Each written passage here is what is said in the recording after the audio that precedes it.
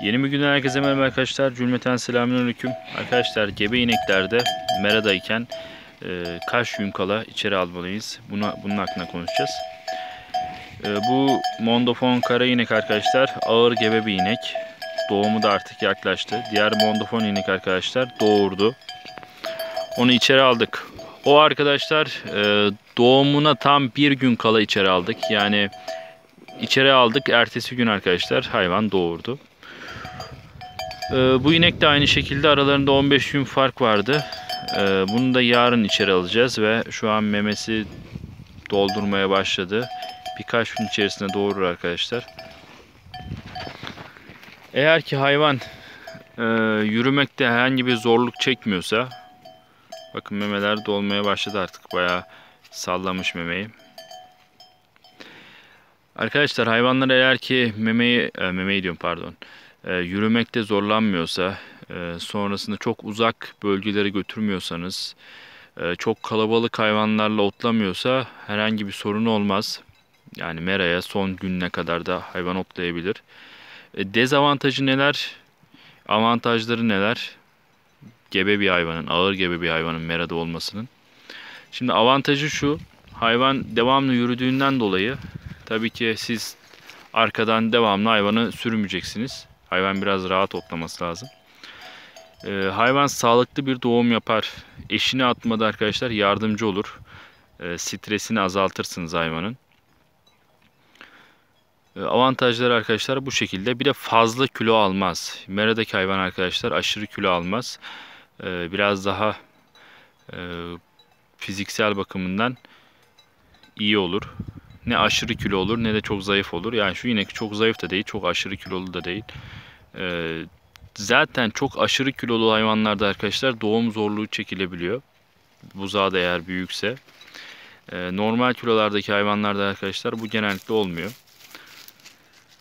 Ee, dezavantajı nelerdir? Şimdi hayvan doğurdu. Yani doğuracak birkaç günü kaldı. Bir haftası kaldı.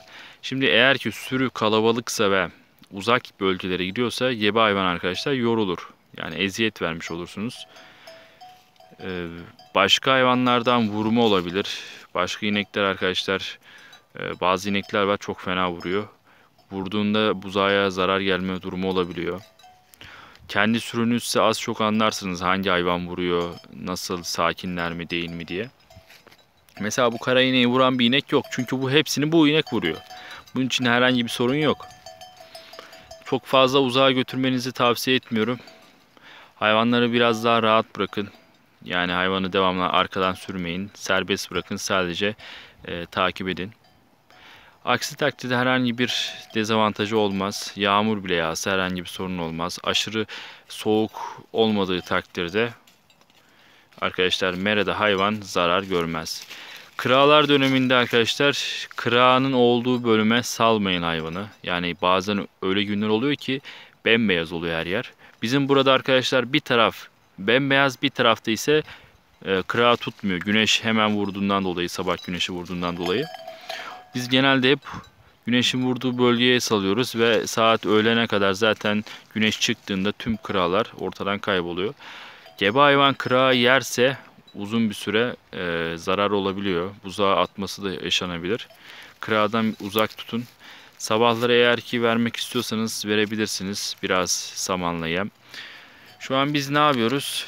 Şimdi açık konuşursak ineklere, düvelere şu an sabahleyin herhangi bir şey vermiyoruz arkadaşlar. Şu an havalar Allah'a şükür çok iyi gidiyor. Ee, kırağı bu sene öyle aşırı derecede yok. Bazı günler atıyor ama dediğim gibi kırağının olmadığı bölümlere hayvanları darılıyoruz. Öğleden sonra zaten kırağı mırağı kalmıyor. Ee, akşamleyin sadece ineklere e, biraz saman, küspe ve besi yemi takviyesi yapıyoruz. Aşırı derecede değil tabii ki. Ee, bu Kasım ayında bu şekilde geçiririz. Aralık ayına inşallah ortasına kadar ya da artık havaların bizi ne, ne duruma sokar bilemiyorum ama sonuna kadar bile götürsek bizim için çok büyük bir avantaj olur. Ee, artık götürebildiğimiz kadar götüreceğiz. Tabii ki etrafta çok fazla bir ot kalmadı ama e, olan otları sonra palamutları artık meyveleri. Meyve olarak sadece ayva var. Ayvaları çok güzel yiyorlar. E, palamudu çok güzel yiyorlar. Farklı farklı otlar var onları yiyorlar. Akşam da biraz takviye verince arkadaşlar hayvan aç kalmıyor. Düveleri şu an takviye vermiyor sabah akşam. Düveler şu an meradan otluyor. E, takviyeyi büyük ihtimal Aralık'ta veririz. Artık Aralık'ta e, ya sabahları ya da akşamları e, sadece bir öğün veririz. Tamamen kapatılana kadar. Ondan sonra artık aralığın inşallah 15'inde 20'sinde içeri alırız.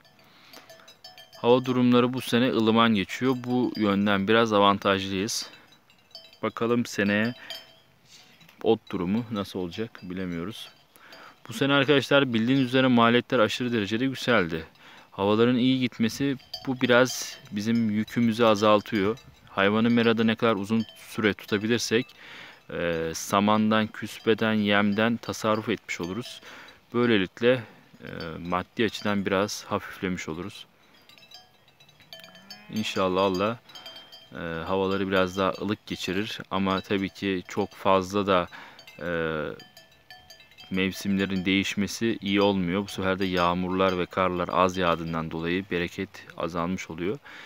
E, Mayıs ayında, Nisan ayında yağmurlar yeteri kadar arkadaşlar yağdığında herhangi bir sorun olmuyor ama az yağdığında ot bakımından ve tarlalardaki bitkiler bakımından kurak geçiyor.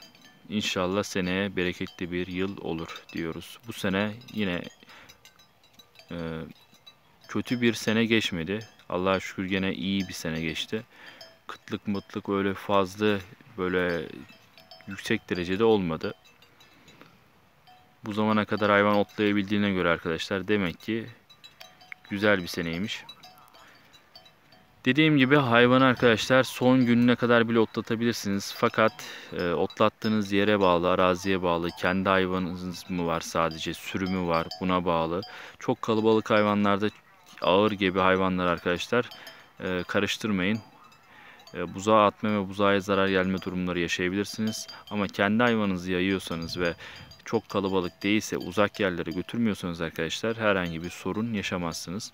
Biz eskiden son bir aya kadar içeri alırdık. Şunu gözlemledim.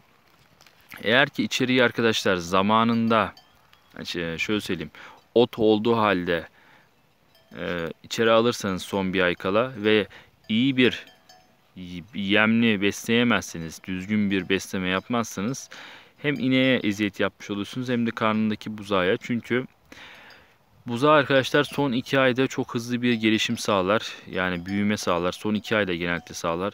Ee, %50'den fazlasını arkadaşlar son 2 ayda sağlıyormuş gelişimlerinin. O yüzden arkadaşlar Mera'da bilmediğiniz otlardan yediğinden dolayı şu an tıbbın bile çözemediği bir dünya bitki var. Hayvanlar bunları insanlardan daha iyi biliyor, daha fazla tüketiyor arkadaşlar. Onun için arkadaşlar buzağının sağlığı için mera gerçekten çok iyi. Ee, bence otlatabildiğiniz kadar hayvanı otlatın.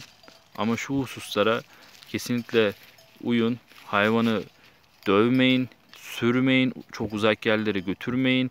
Vuran hayvanlar varsa ciddi bir şekilde vuruyorsa o hayvanı arkadaşlar meraya salmayın. Yani gebe hayvanı salmayın. Vuran hayvanı değil.